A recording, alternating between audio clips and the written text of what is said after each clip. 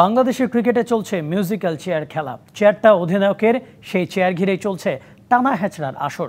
শান্ত নেতৃত্ব ছাড়তে চান অথচ জানে না দল। আবার তাইজুলও জানালেন অধিনায়কত্ব নিতে প্রস্তুত তিনি। ভবিষ্যৎ অধিনায়ক হওয়ার দৌড়ে মেহেদি হাসান মিরাজকে নিয়েও হচ্ছে জোর আলোচনা। কি চলছে ক্রিকেট বোর্ডের অভ্যন্তরে?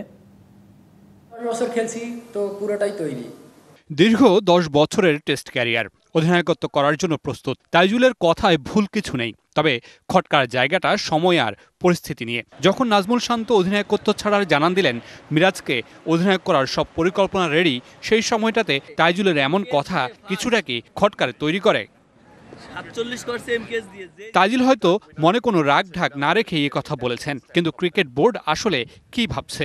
বিভিন্ন সূত্রের খবর মেহেদি মিরাজকে অধিনায়ক করা নিয়ে বোর্ডে বহুমত।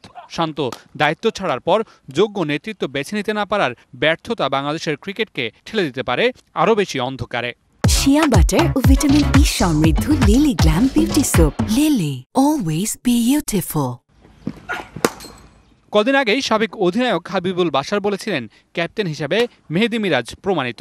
তারপরও কেন এত তালবাহানা? ইজ এ ফাইটার ডেফিনেটলি উনিশ লেভেলে ক্যাপ্টেন্সি করেছে।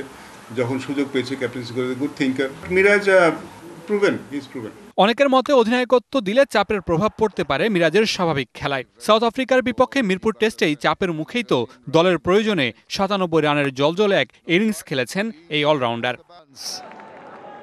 শুধু তাই নয়, অনূর্ধ্ব উনিশ বিশ্বকাপের অধিনায়ক থাকাকালীন হয়েছিলেন টুর্নামেন্ট সেরা। তাই তো সাকিব, তামিম, মুশফিক, মাহমুদুল্লাহ পরবর্তী সময়ে সম্ভাব্য অধিনায়ক হিসেবে বারবার উঠে এসেছে এই অলরাউন্ডারের নাম।